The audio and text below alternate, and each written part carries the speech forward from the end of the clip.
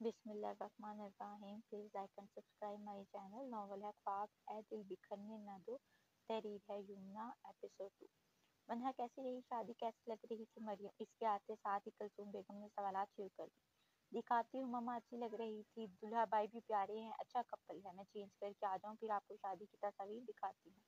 इनसे कहती, वो उठकर कमरे में चली गई। चेंज करके वापस नीचे आते इनको फ़ंक्शन की तस्वीरें दिखाई, सारा दिन की थकी हुई, जब वो सबसे फारिग होकर लेटी तो अचानक आँखों के सामने एक चेहरा लहराया इस्तफार मैं क्यों इसे सोच रही हूँ?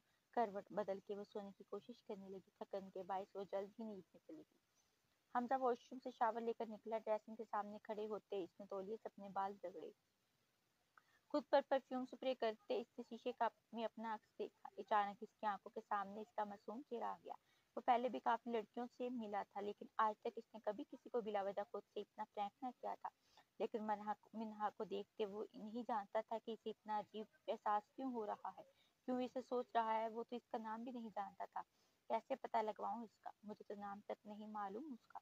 कुछ देर इसे सोचते हुए एक नतीजे पर पहुँचता लेटता आँखें मूंद गया अगले दिन रात को रिसेप्शन था, वो लोग इस्लामाबाद के लिए निकल गए थे। दिल में यही ख्वाहिश थी कि एक दफ़ा वो नज़र आ जाए कि अचानक से अरीज से इसके पास आई। भाई, अगर दिन का फ़ंक्शन होता तो हम यहाँ से शॉपिंग करते। अरीज अफसोदगी से बोली हाँ भाई, इस मोटी को तो बस हर वक्त एक काम आता है, शॉपिंग शॉपिंग और बस शॉपिंग। समी से चिढ़ाता हुआ बोला, भाई देखें इसने मुझे मोटी कहा। समी तमीज से बात करो बहन से। हमदा ने समी को डांटा, सॉरी, वो मुँह बनाता हुआ बोला घर आकर भी बस इसका ख्याल दिमाग से नहीं जा रहा था। वो लेटा लेटा उठ बैठा, इसे अपनी हालत समझ नहीं आ रही थी। ऐसा क्यों हो रहा है? बात इतनी सी थी कि हमजा शायद ये मानने को तैयार नहीं था कि इसे भी मोहब्बत ने चुन लिया है। वो जो लड़कियों से दूर भागता था देख लड़की को एक नज़र देखने के लिए बेचैन हो रहा था। मैंने नींदें तवील कर दी, यार तो मुझसे ख्वाब में मिला करना है। हाय गर्ल सब मिन्हा ने फ़ोन पकड़ा तो समन का मैसेज था, कुछ नहीं, अपने लिए नूडल्स बना रही थी। तुम बताओ क्या हाल चाल है? मेरे तो बिल्कुल ठीक हाल है। तुम सुनाओ, कहीं शादी पर टकराने वाले हैंडसम को याद तो नहीं कर रही थी? वो लहजे में शरारत समोई गोया हुई। मिन्हा का दिल किया, अगर वो इसके सामने मौजूद होती तो इसका सर फाड़ देती। बकवास बंद रखो अपनी। सच ही कहते हैं सियाने अपने राज किसी को नहीं देने चाहिए। बाद में तुम्हारी तरह जलील करता है। मिन्हा चिड़ती हुई बोली, यार, क्या हो गया है? गुस्सा क्यों हो रही है? मज़ाक किया था मैंने। जानती हूँ तुम्हारा दिल तो फाहद भाई के पास है। इनके अलावा तुमने किसी और को क्यों चुनना? वो मायनी खेजी से बोली, अगर तुमने यही बकवास करनी है तो मैं फ़ोन बंद कर रही हूँ। मीना से चौथी बोली और एक हाथ में नूडल्स का बाउल पकड़े सोफे पर बैठी। अच्छा सुनो अब सच में तंग नहीं कर रही। शादी का तो बताओ कब तक होनी है? वो संजीदा होती बोली। इंशाल्लाह एक दो माह तक का कह रही हैं मम्मा। वो लोग तो कब से तारीख मांग रहे हैं, लेकिन हमारी तरफ़ से ही देर हो रही है। मीनारे सामने से बोली अच्छा पहले बता देना, ये ना हो लास्ट टाइम पर हमें मालूम। जी जी, मैडम, जो हुक्म, यूँ ही बातों के दरमियान वक्त का अंदाज़ा नहीं हुआ। दिन ऐसे ही गुजर रहे थे, बेकैफ वक्त का काम था गुजरना और गुजर रहा था। हमदा गाड़ी रोके एक बेकरी में गया। वो अपने दोस्तों के साथ बाहर निकला था। कि की कॉल आई, इसके लिए चॉकलेट लेकर आए। जैसे ही वो बेकरी से बाहर निकला, इसकी नज़र मोटरसाइकिल पर बैठे उस लड़के पर पड़ी, जो शादी में मिन्हा को लेने आया था। इसके पीछे यकीनन वही बैठी थी, नकाब की जल्दी से वो गाड़ी में बैठा और इनका पीछा करने लगा। बाइक एक तंग गली में चली गई। वो विंडो से इसे दूर जाता देखता रहा। तो तुम यहाँ रहती हो? जल्द मिलेंगे फिर। कहते हमजा घर की तरफ़ रवाना हुआ। वो अपने ऑफ़िस में बैठा कोई फ़ाइल पढ़ने में मसरूफ था। जब ऑफ़िस का दरवाज़ा खुला मैं आई कम इन सर इसका पीए अंदर आने की इजाज़त मांग रहा था। यस कम इन वो फ़ाइल बंद करके इसकी तरफ़ मतवजा हुआ। काम कहा था तुम्हें? यस सर वही बताने आया था। सर इसका नाम मिनहा है। छोटी सी फैमिली है नॉर्मल तबके के लोग हैं। वालदिन के किसी दुकान पर काम करते हैं। वालदा हाउस वाइफ है। छोटा भाई मूसा भट्ट है, जो यूनी से बी बी कर रहा है। मैम ने मास्टर अभी ही कंप्लीट किया है और घर के पार, पास एक मदरसा में जाती हैं। उम्र तेईस साल है। हम गुड, तुम जा सकती हो। तो मिनहा, मैं पहुँच ही गया आप इसने फ़ाइल खोली जिस पर इसका नंबर था। कुछ सोचते हुए नंबर डायल किया। कॉल जा रही थी। लेकिन कोई उठा नहीं रहा था। तीसरी बार कॉल करने पर फ़ोन उठा लिया गया। अस्सलाम वालेकुम। इसकी आवाज़ सुनते ही रगों में एक अजीब सा सुकून उतरा। पीछे से बच्चों की आवाज़ें आ रही थी, वो समझ गया कि वो इस मदरसा में है। जी कौन? दूसरी तरफ़ से इसकी आवाज़ फिर आई। वो बस आगे से खामोशी से इसकी मीठी आवाज़ सुन रहा था। बोल भी दो, अब यह ज़ुबान नहीं है। इसकी झुंझलाई सी आवाज़ आई। हमजा को बेसाख्ता हँसी आई इसकी बात पर, लेकिन वो अपनी हँसी कंट्रोल कर गया वालेकुम सलाम, कैसी हैं आप? इसने आराम से कुर्सी की पुष्ट पर सर रख के पूछा, कौन हो आप? मनहा ने तंद लहजे में पूछा, जी, मैं हमजा बात कर रहा हूँ। कौन हमजा? आप मुझे नहीं जानती। आपको याद है हम शादी में मिले थे? वो शदीद सदमे में चला गया था ये सोच कर कि इसे तो याद भी नहीं।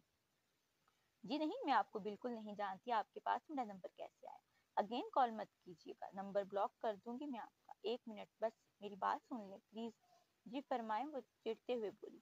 मैं आपसे शादी करना चाहता हूँ, अपने घर वालों को भेजना चाहता हूँ आपके घर, हमजा जल्दी से बोला। बस बस ये ज़्यादा हो गया, यहाँ मैं रिश्ते वाली नहीं हूँ। आप जाकर किसी और से रबता करें और दोबारा कॉल मत करिएगा। मैं मरियम को बताऊँगी आपका, ये बोलते साथ इसने खटाक से फ़ोन बंद कर दी कुछ लम्हे तो वो फ़ोन को देखता रहा, फिर खामोशी से उठा और घर के लिए निकल गया। अस्सलाम वालेकुम इसने घर में दाखिल होते बोला सब लॉन में बैठे शाम की चाय पी रहे थे। अरीज और समी को प्यार करने के बाद इसने दादी के कमरे का रुख किया। अस्सलाम वालेकुम, दादी कैसी हैं आप? वालेकुम सलाम, आज तो जल्दी आ गया मेरा बेटा, वो इसे देखकर मोहब्बत से गोया जी बस कुछ ज़रूरी बात करनी थी, आपसे दादी वो इनके पास बेड पर बैठते हुए बोला, जी मेरा बच्चा क्या बात है? वो मुतफक्कर सी इसकी तरफ़ देख कर गोया हुई। नहीं नहीं, परेशानी वाली बात नहीं दादी जान, बस आपकी ख्वाहिश पूरी करने वाला हूँ, शादी करना चाहता हूँ। लड़की पसंद आ गई है मुझे।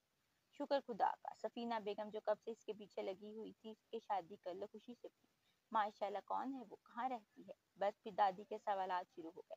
रुक तो जाए, अभी मैं भी ज़्यादा नहीं जानता। बस मरियम की शादी पर देखा था। इसकी दोस्त है। बस वो मान जाए दादी जान बोलते, वो इनके हाथ थाम गया क्यों नहीं मानेगा? मेरा बच्चा इतना प्यारा है। नेक है। अल्लाह सब बेहतर करेगा। मैं मम्मा से भी बात करता हूँ। फिर आप दोनों इनकी तरफ़ जाइएगा।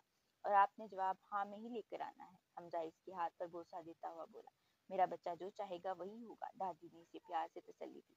रात में खाने से फारग होकर वो फ़ोन पकड़ के बैठी हुई थी, कॉल आ गई। इसने गैस करके फ़ोन कान से लगाया। जी कौन? मैं हमजा शाह। तुम क्यों कॉल कर रहे हो? मैंने मना किया था ना तुम्हें। हम्म। काम डाउन पहले मेरी बात सुन ले, मेरे घर वाले आना चाहते हैं आपके घर। क्या दिमाग ठीक है तुम्हारा? मतलब क्या फजूल हरकत है? मेरी मंगनी हो चुकी है। आप बराए मेहरबानी मुझे तंग ना करें।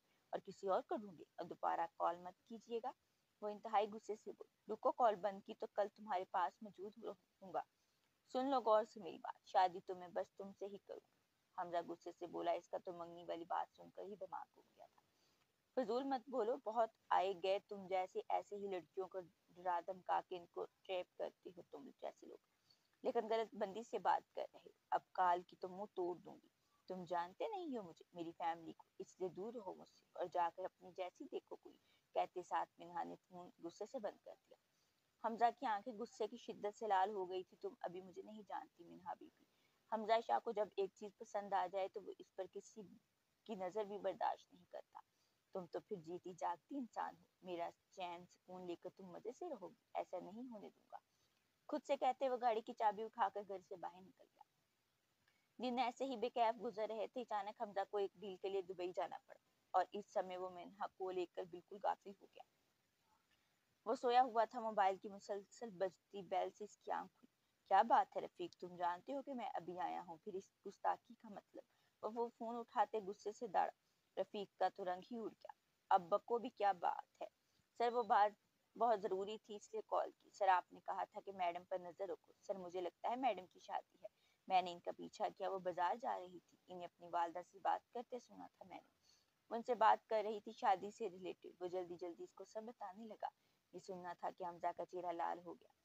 तो तुमने कर ली अपनी मर्ज़ी। अब देखना मैं क्या करता हूँ। इसने फ़ौरन अपनी वापसी की टिकट बुक करवाई। इसके अंदर पकता लावा किसी तौर भी कम नहीं हो रहा था।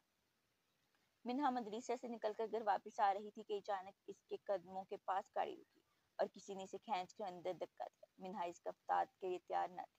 इसे समझ नहीं आई, हुआ क्या है? गाड़ी हवाओं से बातें कर रही थी, कौन हो तुम गाड़ी रोको वो चीख कर सबको इकट्ठा कर लूँगी। वो चीखती हुई इसका बाजू झंझोड़ रही थी। जैसे ही इसकी नज़र मुकाबल पे पड़ी, रंग एकदम से फीका पड़ गया। तुम तुम यहाँ क्या कर रहे हो? ये क्या हरकत है? रोको गाड़ी। मैंने कहा था ना कि तुमसे शादी सिर्फ़ मैं करूँगा। फिर तुम्हें मेरी बात समझ नहीं आई क्या? हमजा इसकी तरफ़ देखते हुए सत लहजे में बोला, बकवास बंद करो और रुको गाड़ी। मिना गुस्से से चलाई। गाड़ी एकदम से रुकी किसी खामोश जगह पर, मिना बहुत ज़्यादा खौफजदा हो गई।